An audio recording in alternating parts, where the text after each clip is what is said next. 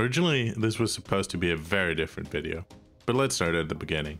On July 21st of this year, YouTube and international programming superstar Sebastian Lague announced a competition of the most epic proportions. Today I'm announcing a little coding challenge. Earlier, Sebastian had documented writing a chess AI from scratch in two detailed videos. Now he dared the programmers of all nations to try themselves, the main restriction being that each AI had to fit within 1024 tokens. A token is basically a single element of C-sharp code. As an example, this line consists of 11 tokens. So if we'd want to win this thing, we'd have to make every token count. My initial idea was to train a small neural network to be able to gauge how good a given chess position is.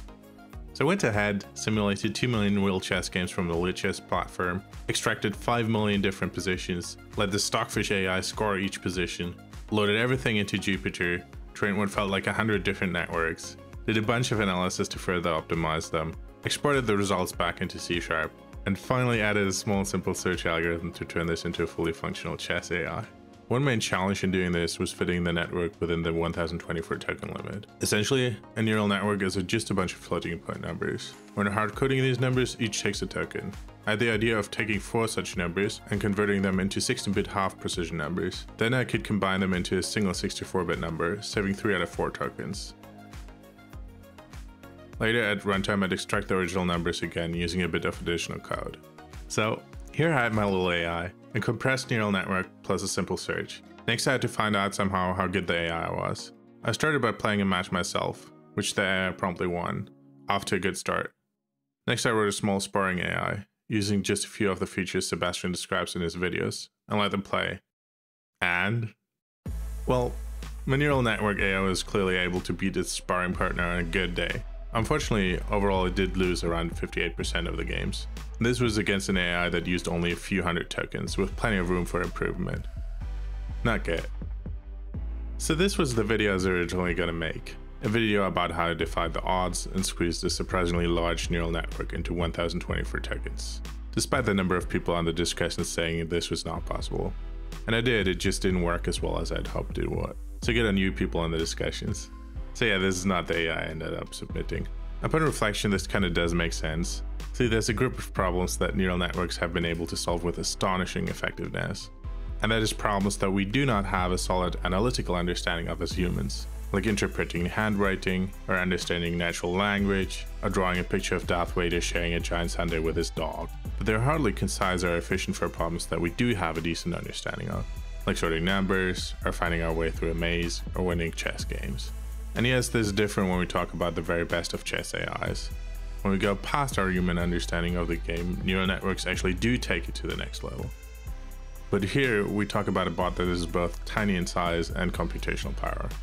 Within this setting, we do understand the problem well enough for a handcrafted solution being able to outplay a neural network with ease. At least that is what I think now. It'll be interesting to see if anyone does submit a machine learning based AI to the competition and how it fares. Contemplating my failure made me realize I'd focused on the wrong part of the challenge. The goal was to write a chess AI and 1024 tokens, and my entire focus had been on the first half, writing a great chess AI. But this is a solved problem, at the very least within the limits of this competition.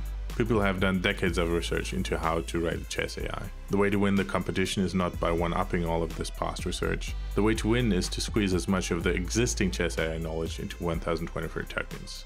No need to outthink them if you can outsqueeze them. So, where can we get a bunch of chess AI knowledge in a short amount of time?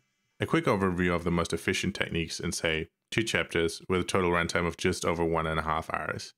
So, yes, I did go and rewatch Sebastian's two videos, and I borrowed a bunch of the features of Sebastian's AI. Here's a list of features I implemented. And now I won't go over them again, because my main contribution was in squeezing these features, not compiling the list or implementing them, so I'll talk about the squeezing. Feel free to check out Sebastian's videos for details on how they are implemented in the first place. After implementing a first unoptimized version of these features, it was time to copy everything into a single file. This way, I could check how many tokens I used. So where did we land? 3687. Oh boy. So we'd have to remove more than two thirds of our code just to be able to submit our bot. Maybe I'd overcommitted just a bit. Fortunately, there were a lot of low hanging fruits at this stage.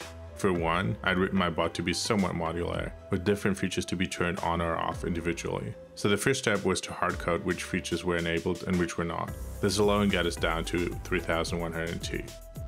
Another big opportunity for optimization are these score tables, which define how good or bad a given square is for, say, a pawn. And yes, these values are very much inspired by the ones Sebastian uses. Each number in the table uses up one tokens, so that's literally hundreds of tokens across 8 tables. To get a first idea on how to compress these tables drastically, let's take a look at this smaller table first. This table describes how much each different type of piece is worth to our AI. If we want to save tokens, instead of putting all of these numbers into an array, we can simply combine them into one big hexadecimal number. To get the value of a single piece, we then simply shift and mask this big number. This way, we replace an array consisting of a bunch of individual tokens by a single constant plus a bit of code to extract the values. For the small table, this saves 10 tokens, but we can do much better. Let's go back to these bigger tables. They contain additional values for having a piece in a specific position on the board. As an example, we would typically like to position our knights close to the middle of our board. To reflect this, we give bonus points in the center and minus points in the corners. We have 8 such tables, 1 per piece type and 2 for pawns and kings, changing values between early game and end game, so the potential savings here are huge. First, we notice that we can combine these larger tables with a small piece value table. We do this by simply adding a piece's base value to the positional values. This way we can entirely remove the smaller table that we just optimized. Second, we notice that these tables are symmetrical between left and right. Well, almost. The queen table is not quite symmetrical, but we make it symmetrical too. This allows us to store values for just one half of the board, halving the amount of data we need to store. Next, we use the same trick as before to combine a bunch of individual numbers into one large constant. Here we encode the 8 values belonging to a single file into one large ulong constant. This way we shrink a single table from 64 different constants to just 4. And yes, we do have to add a little bit of code to take care of extracting the numbers, but together with a few other optimizations to the board evaluation code, this saves a whopping 978 tokens, taking us down to 2075. From here on out, things start to move towards small optimizations, like turning function arguments into member variables, so we do not have to pass them along every time, or being strategical with our imports. I will point out one more thing specifically though, and that is the power of side effects. Here's an example I'm convinced you will absolutely hate. You probably have typed something like this iconic for loop about a million times in your life. But did you know that you can use one less token by combining the end condition and the increment into a single expression? Yes, this lets us save one whole single token. Here's a bigger example of this technique. An assignment in C Sharp can be used in the middle of an expression, and it returns the value that was just assigned. The common use case for this is to assign the same value to multiple variables at once, and this is pretty much uncontroversial. However, this absolutely is allowed in the middle of larger, more complex expressions too. If we take this to the extreme, we can combine this entire nested if condition into a single if. Isn't this both beautiful and disgusting at the same time? I don't know, but to me writing terrible code like this gives a certain adolescent joy. Just don't pull these moves in your next PR at work. After hours of writing this marvelously ugly code, I was finally convinced that inlining this array length was the very last thing I was able to do to save tokens. So where do we land? 999 tokens, 25 to spare, so we would not have to painfully remove actual features from our AI after all. I contemplated using these 25 tokens for a small easter egg, like adding this tiny piece of code that triggers whenever we're about to win. What does it do? Well listen for yourself.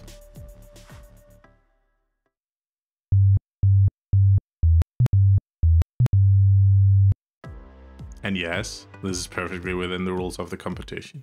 In the end, I was too concerned though that this would give Sebastian a heart attack. This is also a bit more than 25 tokens, so I would have to optimize something else, potentially at the cost of performance. So ultimately, I decided to leave this out. 999 is a pretty nice number, even though wasting 25 tokens hurts a little. Now all that was left was formatting my code nicely.